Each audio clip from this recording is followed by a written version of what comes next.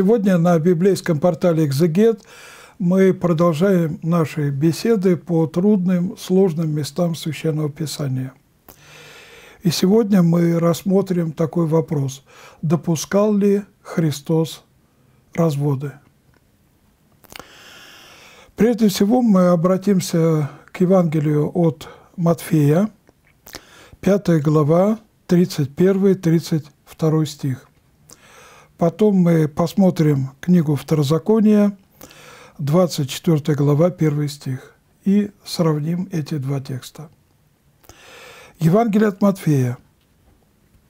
Слова Христа. Сказано также, что если кто разводится с женой своей, пусть даст ей разводную. А я говорю вам, кто разводится с женой своей, кроме вины любодеяния – тот подает ей повод прелюбодействовать. И кто женится на разведенной, тот прелюбодействует. И теперь э, отрывок из книги Второзакония 24.1. «Если кто возьмет жену и сделается ее мужем, и она не найдет благоволения в глазах его, потому что он находит в ней что-нибудь противное – и напишет ей разводное письмо, и даст ей в руки, и отпустит ее из дома своего. Надо сказать, э, что закон о разводе был дан еврейскому народу, об этом тоже говорит Христос, по их жестокосердию. Потому что если бы не было закона о разводе, то они убивали бы своих жен пожилых, чтобы выйти из-под их как бы власти и женились бы на молодых. Поэтому, чтобы эту жестокость хоть как-то укротить, то был дан э, закон о возможности развода. Так как э, христиане – это по определению люди, которые во главу всего ставят любовь, должны ставить любовь, то здесь говорится совсем иначе. Сказано также, если кто разводится с женой своей, пусть даст ей разводную. Это отсылка к Ветхому Завету. А я говорю вам, кто разводится с женою своею, кроме вины любодеяния. Что значит кроме вины любодеяния? Вот если жена изменяет мужу, муж имеет право развестись. Ни по какой другой вине он развестись не может. А в иудаизме разрешали развестись, если жена плохо сготовила там обед или ужин, и муж имел право только на этом основании а, подать на развод. И этот развод быстро оформлялся. Это зафиксировано а, в древних э, текстах Талмуда. Здесь ситуация другая. Есть одна причина для развода женою – это ее измена – а я говорю вам, кто разводится женою своей, кроме вины любодеяния, тот дает, подает ей повод прелюбодействовать. Потому что он ее бросил. А она не хочет оставаться одной. Каждая женщина имеет право на свое большое женское счастье – и таким образом Евангелие оберегает женщину от такой ситуации. Женское одиночество – это серьезная проблема. И кто женится на разведенной, имеется в виду та разведенная, на которой не было вины любодеяния а развелись неправильно. Поэтому это надо понимать в контексте.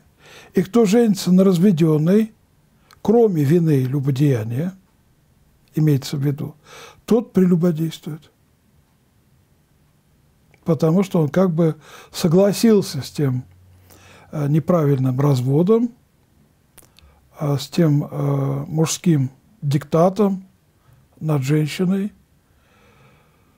и решил как бы это оформить, вступая с этой женщиной в новый брак.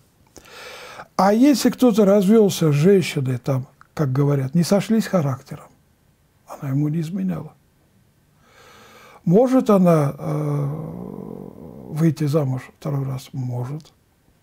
Потому что законным развод считается только если есть вина любодеяния.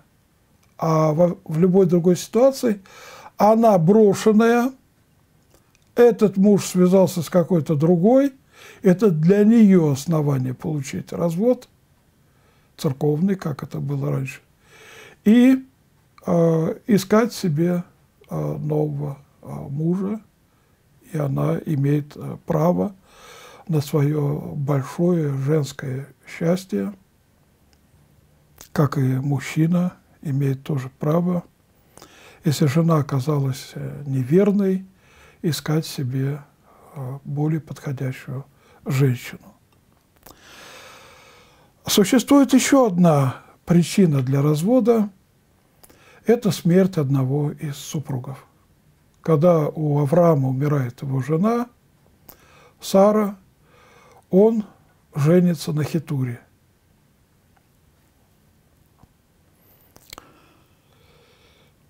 Давайте посмотрим, что пишет э, Хроматий Аквилейский. Господь и Спаситель наш во всем изменяет к лучшему заповеди древнего закона.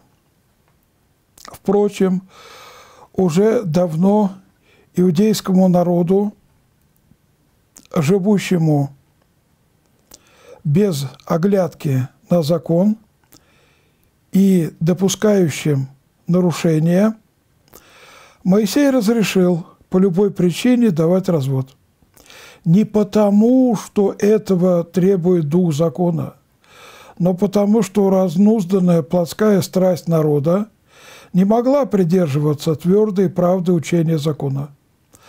Поэтому была предоставлена такая возможность, как в другом месте Господь отвечает на вопрос Садукеев – когда они спрашивают, почему Моисей позволил давать разводную, Господь отвечает, говоря, «Моисей по жестокосердию вашему позволил вам разводиться женами вашими, а сначала не было так.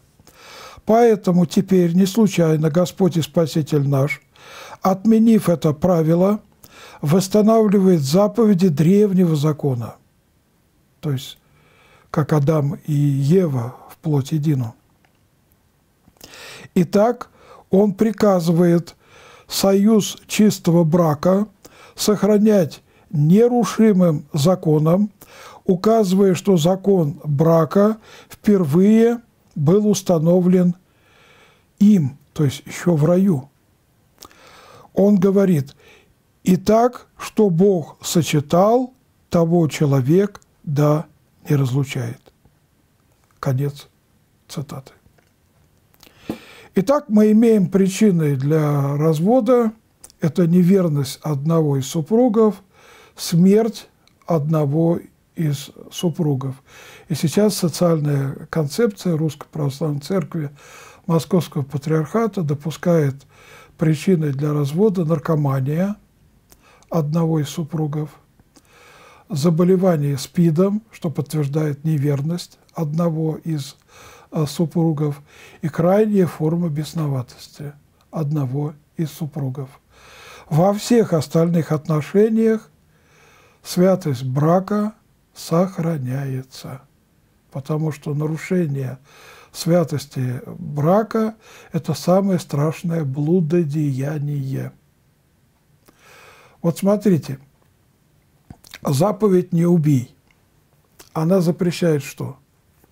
самоубийство, умышленное убийство, нанесение вреда своему здоровью, несоблюдение там, санитарных э, норм э, во время эпидемии. Это все относится к нарушению заповеди «не убий». А вот заповедь «не прелюбодействуй», она тоже широка. Она касается запрет на блуд, запрет на самоудовлетворение, запрет на гомосексуальные отношения, запрет на порнографию и так далее. Но смотрите, если заповедь «не убей», нет же такой заповеди «не убивай себя». А эта заповедь заключается в слове «не убий». То есть заповедь называется по самому страшному нарушению этого принципа. Так вот, самое страшное нарушение принципа целомудрия – прелюбодеяние. Не блуд, не извращение, а именно прелюбодеяние. Почему? А чем прелюбодеяние отличается от э, блуда? Прелюбодеяние, когда муж изменяет жене, а жена мужу. А блуд – это отношения могут быть и вне брака, но незаконные отношения. Это тоже запрещено. Но заповедь озвучена самым э, серьезным нарушением этого принципа. А почему прелюбодеяние хуже любого блуда и даже сексуального извращения? Потому что блудники, они сбежались, разбежались, они никому ничем не обязаны – это грех против собственного тела, как сказано, блудник грешит против собственного тела, против друг друга. А что такое прелюбодеяние? Это когда муж с женой повенчались, это законный брак, и они его нарушают. Это все равно, что монах даст обед э, целомудрия и будет нарушать. Или простой человек никаких обетов не давал, что-то нарушит. Понятно, это разные вещи. А когда венчались, в присутствии священника, двух свидетелей, перед крестом и Евангелием, они давали обещание сохранять чистоту этих отношений. И, как известно, то, что Бог сочетал, да человек не разрушает. Поэтому то, как у нас просто люди могут развестись, даже с точки зрения церковного права, это очень печальное явление – у нас любят критиковать э, католиков, но в свое время э, католический папизм оказался перед дилеммой. Дать согласие на развод Генриху VIII или потерять всю Англию, всю Британию.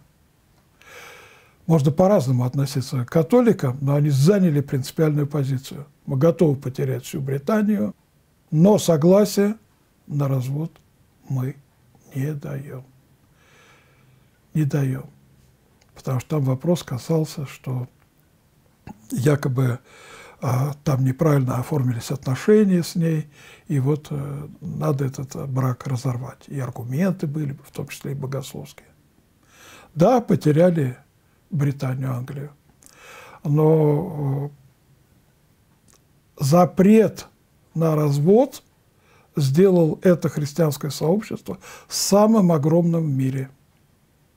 Больше миллиарда. Даже в той же Германии, когда начиналась реформация, а, реформаторов было мало, католиков было а, чуть побольше. Но когда реформация развилась, католики оказались в меньшинстве в Германии. А сейчас ситуация поменялась. Католики становятся большинством в Германии. Почему? А потому что протестанты разрешают разводы. Для них это не проблема.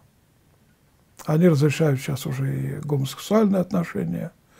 Поэтому они вымирают, а те, которые исполняют заповедь, они будут жить ею. Их становится больше. Поэтому мы, православные ортодоксы, должны оберегать святость брака – Поэтому очень важно проводить занятия для предполагаемых молодоженов, чтобы они поняли, насколько это серьезно. То есть подготовка к таинству венчания совершенно необходима, тем более у православных.